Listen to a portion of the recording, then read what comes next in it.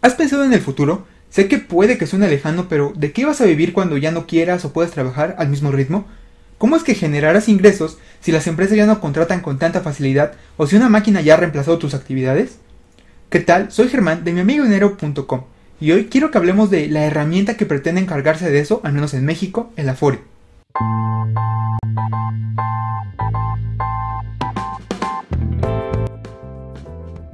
Este es un tema que podría ser en verdad extenso, pero quiero que iniciemos fácil, con sus antecedentes, diciendo qué es, cómo se supone que funcione teóricamente y cómo está funcionando en la realidad, y por qué no cumplirá su objetivo tan óptimamente como debería si tú no pones de tu parte. Tal vez te suene el concepto de que cuando alguien se retire le den una pensión, pues de eso se trata todo este asunto. Solo que en los 80s en México funcionaba distinto. Los trabajadores activos daban aportaciones que pagaban en gran parte las pensiones de las personas retiradas, es decir, los jóvenes cuidaban de los mayores con sus ingresos. El dinero venía de todos y era para todos. Suena bonito, ¿no? Pero ya en los 90 se vio que eso sería insostenible. En parte se debió a que se aumentó la esperanza de vida, la gente vivía más años, y también porque poco a poco hubo menos gente joven. Seguro sabes, ubicas a personas de 40 o 50 años que tienen 6 o 7 hermanos, siete personas jóvenes que cubrían las necesidades de sus dos padres mayores. Muy bien y hasta de sobra. Pero estas personas de 40 a 50 años ya solo tenían entre 0 y 2 hijos, que ahora tienen como veintitantos años. Así que apenas es sostenible. Y luego esta generación ya está teniendo a veces perros en lugar de hijos. Así que tocó cambiar el sistema. Ahora cada quien vería por su futuro, su ahorro, su dinero. Así nacen las Afores en el 97, administradoras de fondos del retiro, que son reguladas por la CONSAR. Como nota al margen te quiero mencionar que este nuevo sistema es un poco, si no es que mucho más estricto. Piden un mínimo de semanas trabajadas cotizadas de 1250 contra 500 del sistema anterior. Pero mejor veamos superficialmente cómo se supone que funciona. Los trabajadores y sus patrones cada que le pagan van haciendo aportaciones obligatorias y todas se pasan a la FORE. Ella lo invierte de acuerdo a su estrategia, a tu edad, y ya cuando lo necesites en tu retiro en el futuro te dará todo ese dinero. Ahora quiero que desmenucemos punto por punto de este tema. Para empezar, es para personas afiliadas al IMSS o al ISTE, así que si no has trabajado en la formalidad en tu vida, no tienes acceso a este ahorro. Y si no haces algo por tu cuenta, podrás tener 70, 80 años, ya ni siquiera poder levantarte, pero pensión por tu afore no vas a tener. Y como te imaginas, hay un montón de gente trabajando hoy en la informalidad. Ahora el segundo punto que parece que a muchas personas les cuesta trabajo entender. Y es que este, aunque se llame ahorro para el retiro, no es solo un ahorro, porque si solo lo guardases, seguro te has dado cuenta de que los productos tienden a estar más caros cada vez, la famosa inflación, hacemos un video aquí. Esto le hará perder valor y de nada serviría guardarlo solamente, por eso tienes que hacerlo crecer. La herramienta más fácil para hacerlo es la inversión. Pero invertir como tú sabes o te imaginas requiere conocimientos y conlleva hasta riesgo de tener pérdidas. A los usuarios he escuchado que les molesta que les cobren la comisión por el manejo que puede que hoy sean muy altas todavía al respecto a otros países, pero no deberían desaparecer. Y se enojan o se asustan cuando ven pérdidas en su estado de cuenta, porque no entienden que riesgo y ganancia generalmente van de la mano. Y como las personas tampoco están familiarizadas con conceptos como horizonte y plazos de inversión, no saben que todavía tienen mucho tiempo para recuperarse.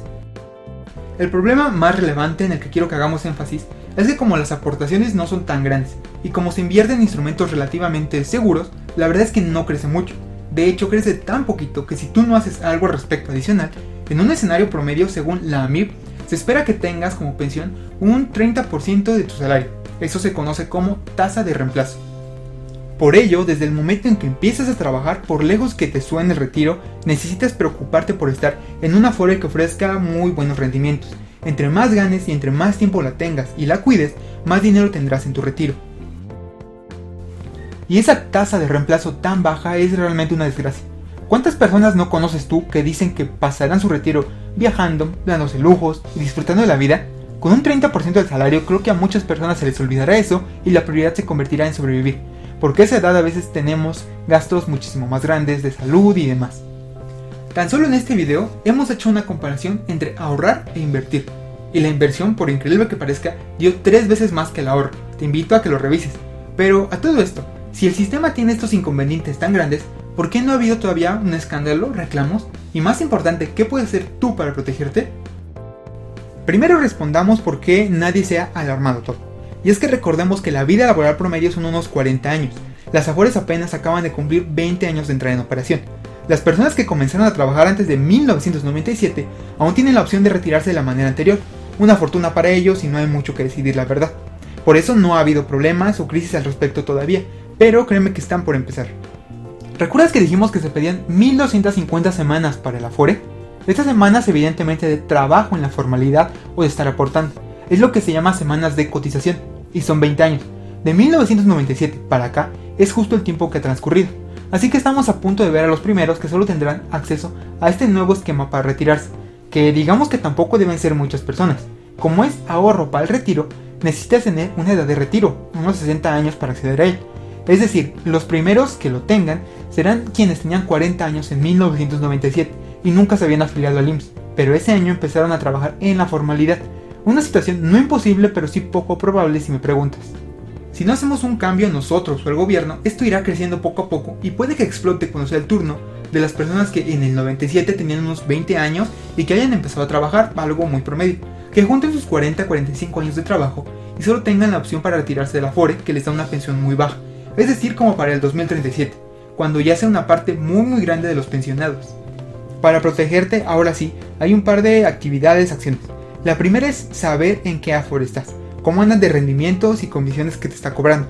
En la descripción te dejaré un enlace para encontrar cuál es la tuya. Recuerda que estás en tu derecho a cambiarte a una que te dé mejores condiciones, servicios o rendimientos. La segunda acción es hacer aportaciones voluntarias. Seguro has visto, aunque sea con poca atención o en el cine, que hay multitud de invitaciones para ahorrar voluntariamente incluso desde 10 pesos al día. Y haremos un video con un par de formas para aportarlo, pero la más sencilla, como abordamos en este video, para invertir de 100 pesos, a mi parecer es en una tienda de conveniencia con unos 50 pesos. Revísalo. La tercera acción, en mi opinión, es empezar a invertir por tu cuenta. Incluso si la FORE funcionase como debería en teoría, que tu retiro en su totalidad dependa de una sola institución y un mecanismo sería peligroso, como sabes que opino. Y si con unas horas de aprendizaje al día, a la semana, puedes hacer que tu dinero crezca todavía más y acorde sí a tus objetivos, yo creo que sería un plus. No podemos poner todos los huevos en la misma canasta, es lo que dirían algunos. Para aprender más al respecto de finanzas e inversiones, sabes que te puedes suscribir a nuestro canal y aquí en los comentarios pedir más temas. Esta fue una visión muy muy superficial del asunto, todavía hay mucho más que ver y aprender al respecto de este tema. Así que haremos una serie y una lista de reproducción que estará disponible por aquí. Pero por algún lado teníamos que empezar.